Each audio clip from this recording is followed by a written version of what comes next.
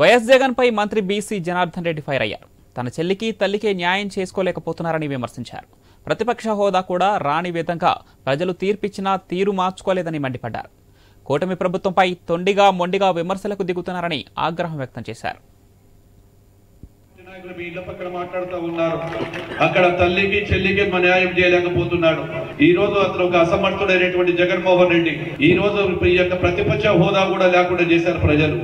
కనీసం ప్రతిపక్ష హోదా మరిచిపోయినాక ఇప్పటికైనా ప్రజల తరపున ఏదైనా మాట్లాడాలని చెప్తే అతను తొండిగా మాట్లాడుతూ మొండిగా ప్రవర్తిస్తా ఉన్నాడు. ప్రజల కోసం ఆ రోజు మేమంతా ప్రతిపక్షంలో ప్రజల కోసం పోరాడాం.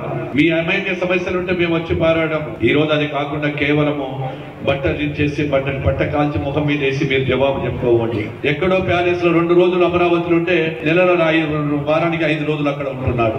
ఈ రోజు వైఎస్ఆర్ పార్టీ నాయకులు చేసిన ఈ రోజు వైఎస్ఆర్